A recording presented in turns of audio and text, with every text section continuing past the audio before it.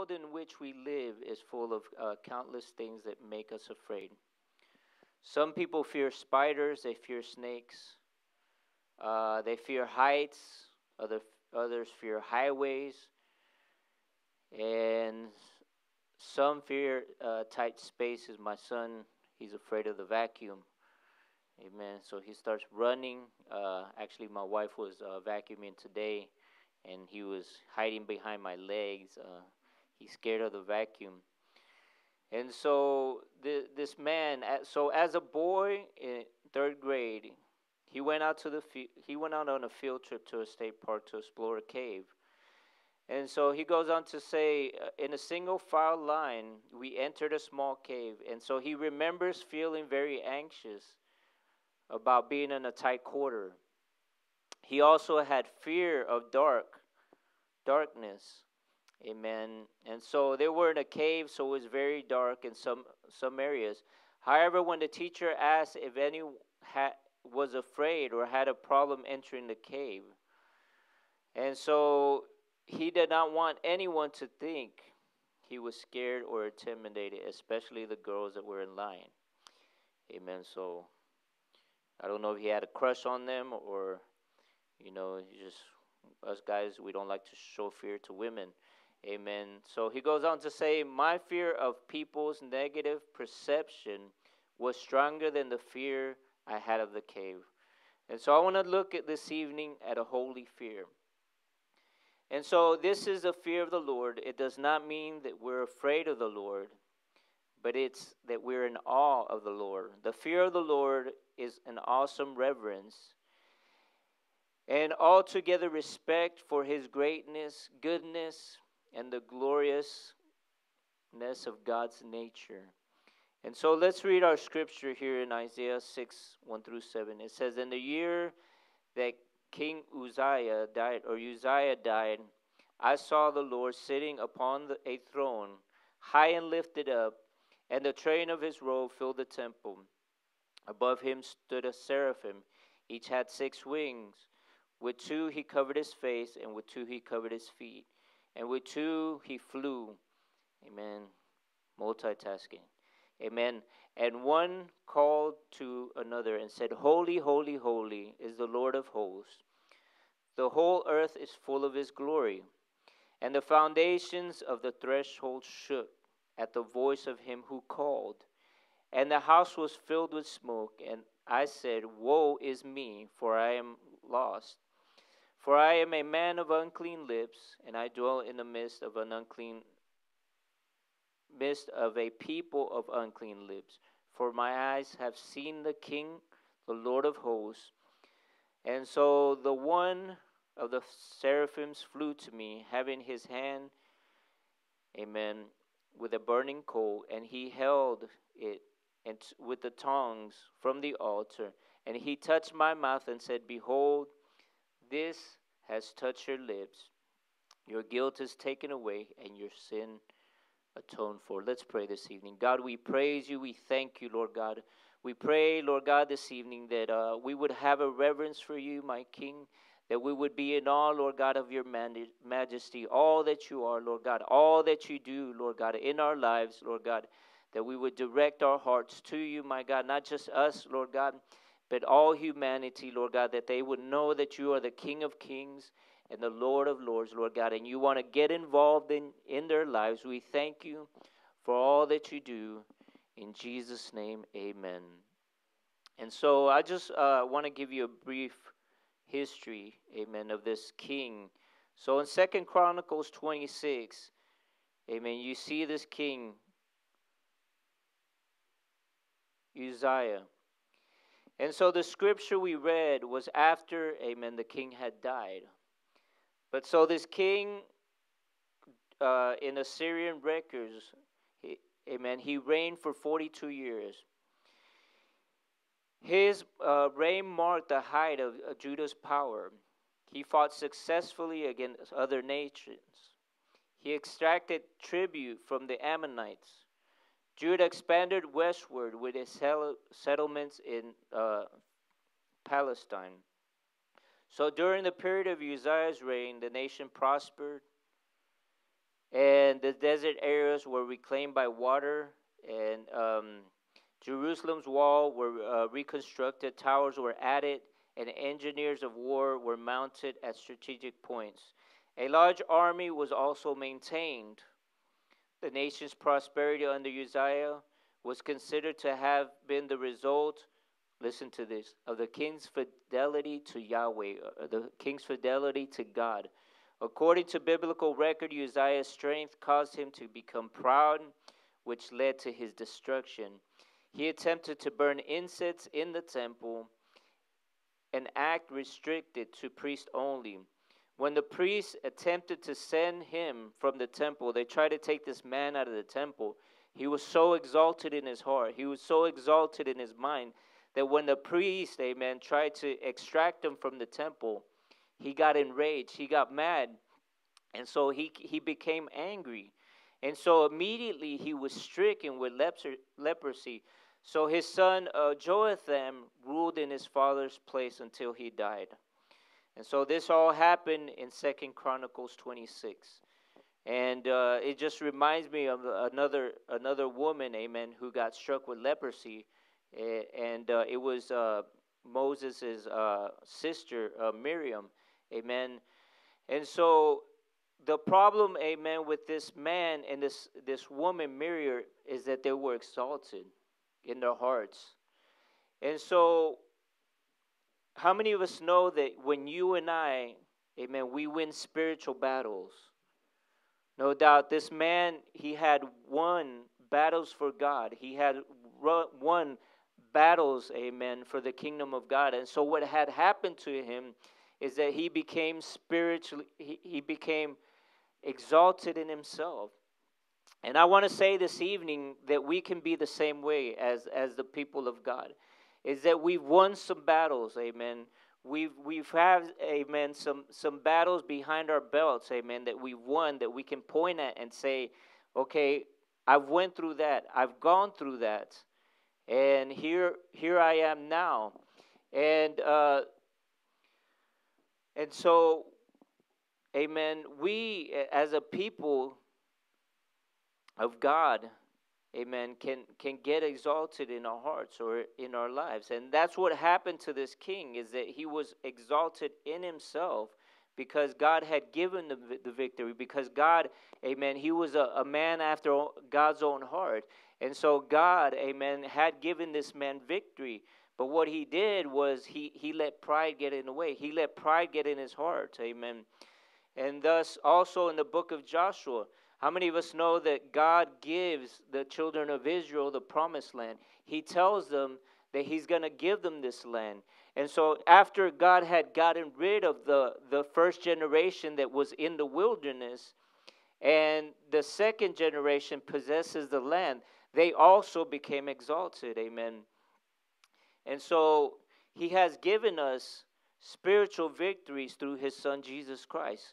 He has given us, amen, you and I this evening, amen, through His Son, through the blood of Jesus, amen. How many of us know that God's Spirit is poured into our lives? He empowers you and I. And so we have to be careful about this.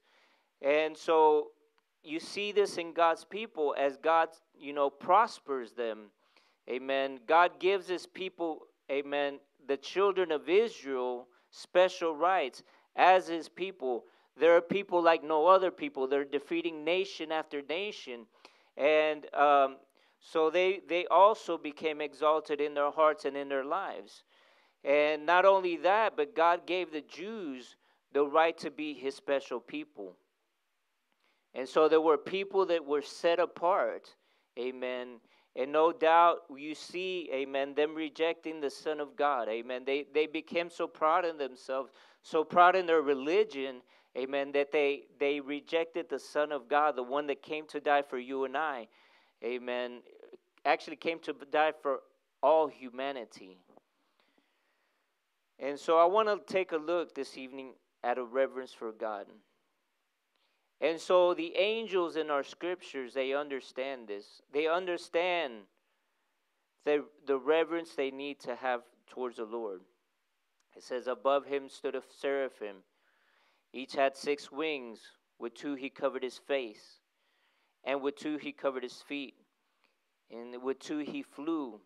And one called to another and said, Holy, holy, holy is the Lord of hosts. The whole earth is full of glory. And the foundations, the threshold shook at the voice of him who called, and the house was filled with smoke. And so this is talking about the representation of Jesus Christ. And God is calling out, Holy, holy, holy is He.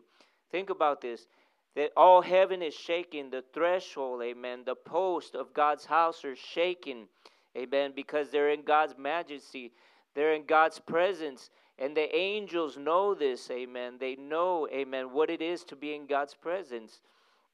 And so, amen, this is a reminder to you and I of how holy our God is, amen, and how of an awe that you and I need to have towards Him because how many of us know that we can forget sometimes? And so the priests were also taught to revere God and His presence. They would have rituals, amen, that would remind them, and, amen, a testimony to them of what God had done for them. And so this was, amen, no doubt a lot of the rituals that they did so they would not forget. In Exodus 28 35, it says, Aaron shall wear a robe when he ministers. They had to be dressed a certain way.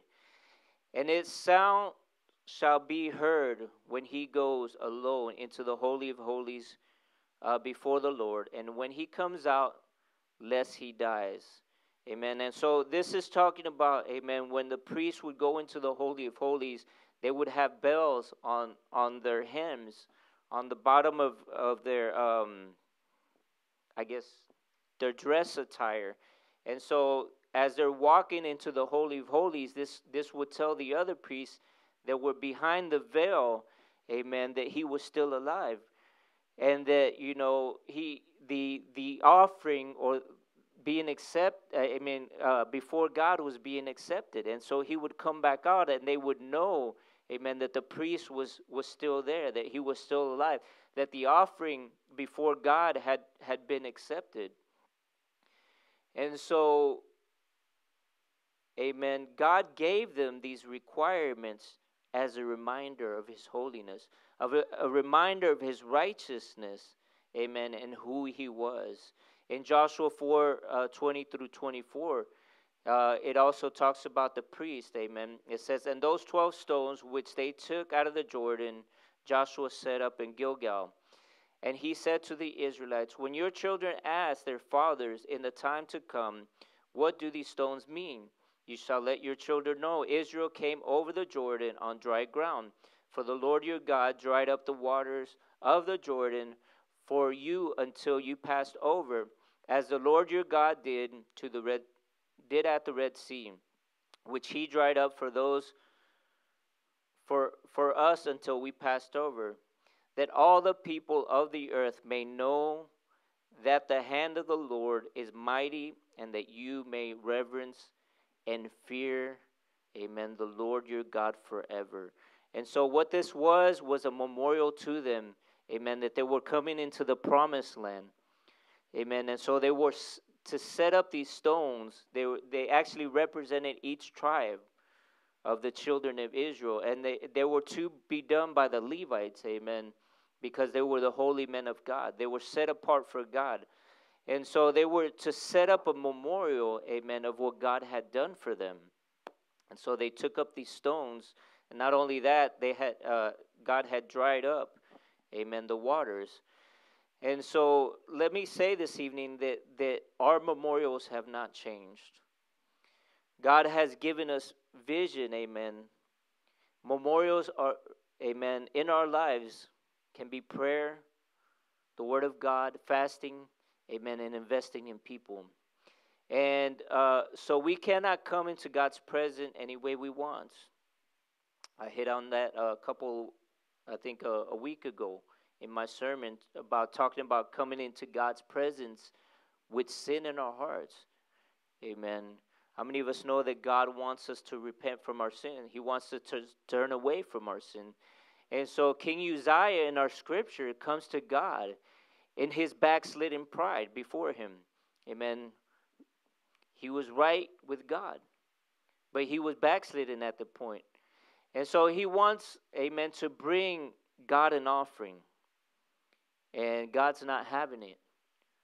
And so he gets stricken with leprosy. God says, This is not this is not happening. You're you're not right before me. And so Proverbs 29 18 says, Where there is no vision, uh, no redemption, revelation of God, the people perish. But he who keeps the law of God, which includes that of man, blessed, happy, fortunate is he. Amen. And so the king in our scripture, amen, he loses vision for the things of God. And so in the Bible, when the king or the leader would lose vision, so would all the people also of Israel. And so we read so many times as as uh, these kings, amen, these judges would do evil in God's eyes, amen, so would his people. But I want to say this evening, thank God for a man of God. And so Isaiah saw, he was connected with God. And so God was able to give him a vision. Isaiah 6, 8 through 13. I heard a voice, and the Lord saying, Whom shall I send? And whom will go for us? Then I said, Here I am, send me. And he said, Go and say to the people, Keep on here, uh, keep on hearing, but do not understand. Keep on seeing, but do not perceive. Make the heart of this people dull, the ears heavy, uh, blind their eyes, lest they see with their eyes, and hear with their ears, and understand with their hearts, and turn and be healed. Thus I say, How long, O Lord? And he said, Until cities lie waste without inhabitants, and houses without people, and land and the land is desolate and waste. And the Lord removes people far away and forsakes uh, places. Amen. And the forsaken places are uh, many in the midst of the land. And though a tenth remain in it, it will be burned again, like the terebinth or an oak, whose stump remains when it is fallen. And it, it, it goes on to say, the holy seed is the stump. And so I want to, amen. And so when I was, I was, last week I was reading this scripture, and it so reminded me of what you and I are going through today. How many of us know that the streets are empty? Amen. There's you you go out, amen, and where where there was people, there's none anymore. And so this this this scripture that I was reading was very scary to me because amen, how many of us know that sometimes uh, prophecy, I mean not sometimes, prophecy repeats itself. And so when I read this scripture, I was like, man, God, this is talking about us. Amen. This is talking about, amen, what's going on uh, today and there was there was time but there there's um amen there there's times amen where god brought revival and i said thank god amen that the that the man of god isaiah amen had a heart amen to to invest in the children of Israel that, that he, amen, kept his relationship with God. And God was able to give him a vision. Because we we have been, amen, we have had different revivals. Uh, from 1730 through uh, the 40s, England and the colonies, amen, there was, there was a, a revival there. In the 1820s through the 50s, uh, throughout America and England, there were revivals. 1875 uh, through 1885, Chicago, there was a revival there. 1906 through 1915, uh, Los Angeles, amen, saw the um, the Great Azusa revival, and uh, 1910 through the 70s, American cities, amen, through New York, Los Angeles, saw revivals, no doubt. Um, Billy Graham, amen, and Billy Sunday, amen, We were, were in those revivals, amen. So America has experienced revivals. And, and I want to tell you this evening that, that the good news is that we can experience revival. Amen. Where, where you and I, as we reverence God, as we give ourselves to the Lord, amen, as we set our, ourselves aside for the Lord, amen, God can give us the revival that we want. I know it's going to be scary, amen. The, the things that I, I was reading here in Isaiah, and I'm, I'm comparing them to what's going on today, and I'm like, God, that's scary. But as we hold on to God, as we believe God, I believe God's going to pour out His Spirit. I believe God's going to give us revival. But it's it's not in the way you and I want. Amen. It could be scary sometimes, thinking of these things. And so Isaiah 43, 18 through 25 is God says to his people, this is later down the road. This is later, amen, chapters and chapters, amen, past. It says, Remember not the former things, nor consider the things of old. Behold, I am doing a new thing, now it springs forth. Uh, do you not perceive it? I will make a way in the wilderness and rivers. The deserts, the wild beasts will honor me, the jackals and um, Amen. The ostrich, for I will give water in the wilderness, rivers in the desert, to give drink to my chosen people. It goes on to say, The people whom I formed from myself, that they might declare my praise. Yet you did not call upon me, O Jacob, but you have been, amen, weary of me, O Israel. You have not brought me your sheep for burnt offerings, or honored me with your sacrifices. Amen. I have not um, you have not burned offerings, amen, or um, frankincense. You have not brought to me sweet cane with money, or satisfied me with fat of your sacrifices, but you have burdened me with your sins, and you have wearied me with your iniquities. And it goes on to say, I am he who blots out your transgressions for my own sake, my own name's sake and I will not remember your sins. And so that's very encouraging this evening. Amen. As you know, we, we look out, amen, as we we see that, you know, America, England, and all these other nations have been nations of revival, amen, nations where God has poured his spirit out on. But I just want to say something this evening. God ha- God is going to do some cutting. God is going to do some cutting to this world, amen. And, and I just want to say, fear not, amen, that He knows what He's doing. And He, he brings revival in His own ways. And, um, amen, I'm, I'm like, praise God, but I'm, in, in, another, in another sense, I'm like, you know, church, we got to be ready. Amen. And I just want to say that, that other people are depending on us. Humanity, amen, is, is depending on on you and I. They're depending, amen, on, on the gospel. Just thinking about Peter, you know, him denying Jesus Christ. And he denies Jesus Christ. You you you see Peter, and so he's hiding. Amen. He even he even uh, curses. Amen, because he's afraid. And you see Peter being used by God, amen, in a powerful way. These men, they get martyred, amen, for the gospel. And so I want to encourage you this evening that, that God, amen, is, is doing more, amen, that you and I see. I just want to encourage you to stay connected, amen, with, with God and His Word and we're going to see what, what God's going to do. Amen. And so, with that said, can I have every head bowed and every eye closed?